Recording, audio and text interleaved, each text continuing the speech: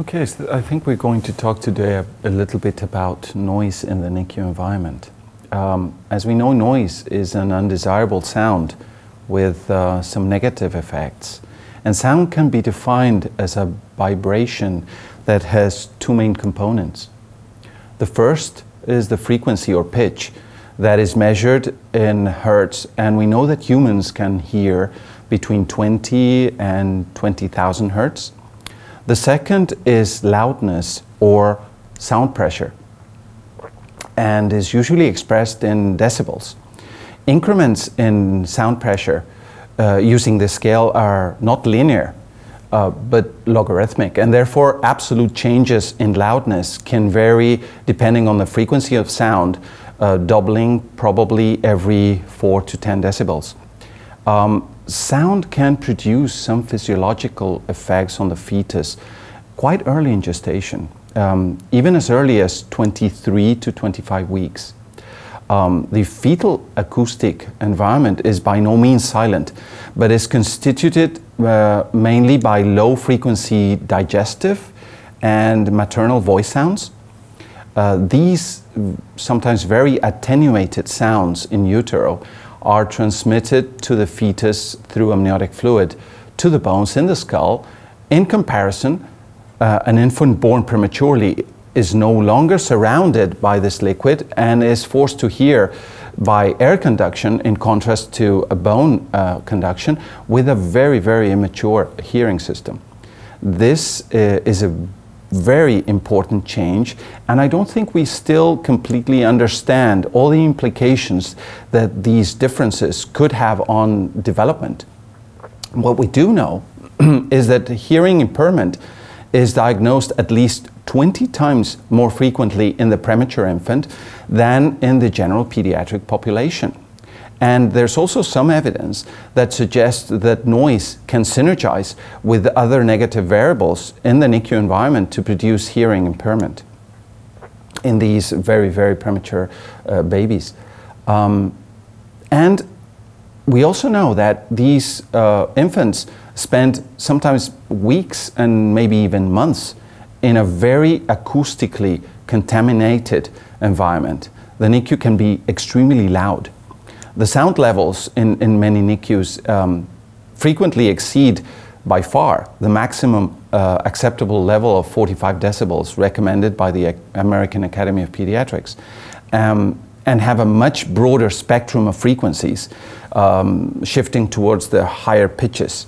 Uh, compared to the low frequency sounds that the baby uh, or the fetus is exposed in utero.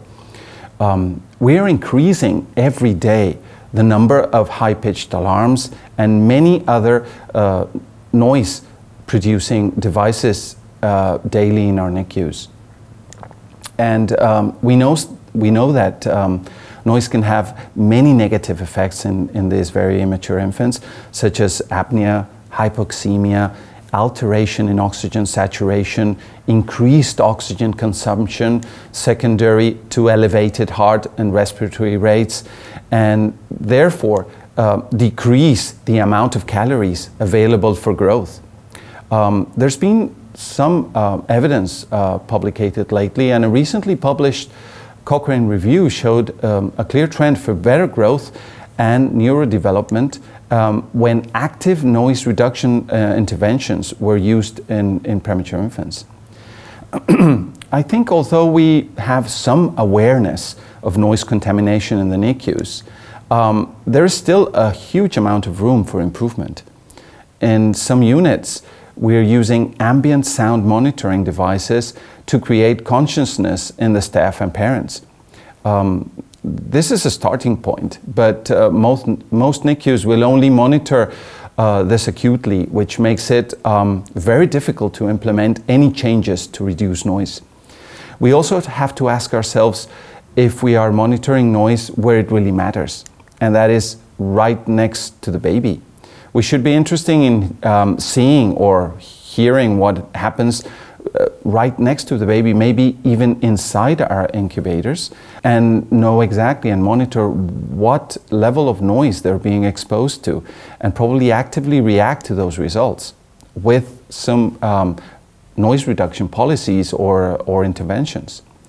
Um, as we know in utero, um, babies are exposed to maternal voice, and, and mothers will almost instinctively uh, talk to the babies when pregnant. We know that in utero, the mother's voice, um, among other many uh, other uh, stimuli, promote maturation of the sensory system and probably contribute to normal fetal development. The fetus will hear the filtered uh, mother's voice and simultaneously receive other stimuli, uh, such as the moving diaphragm and other vibrations while she's speaking.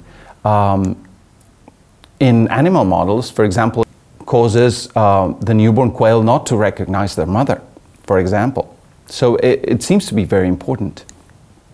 In NICU environment, the premature baby is for one part deprived of normal acoustic stimuli and low frequency sounds uh, inside the uterus, and for the other exposed to potentially harmful noise.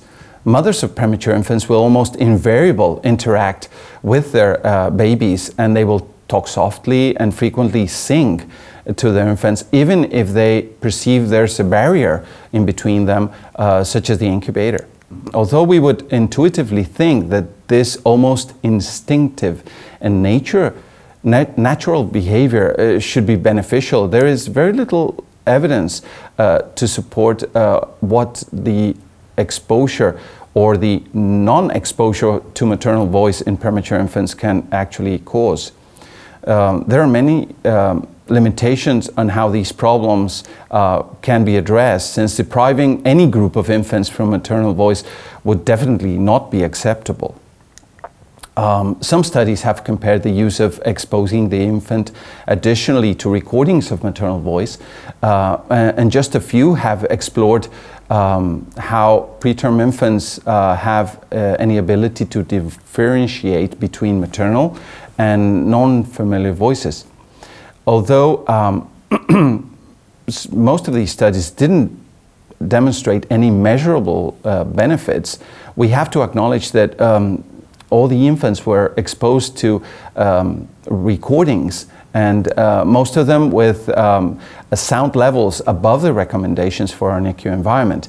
I think this highlights the fact that whatever sound intervention we use clinically or for research purpose must be definitely within levels uh, that uh, do not increase the risk of, of, of harming the baby. Um, so we have to be a little bit careful about these things.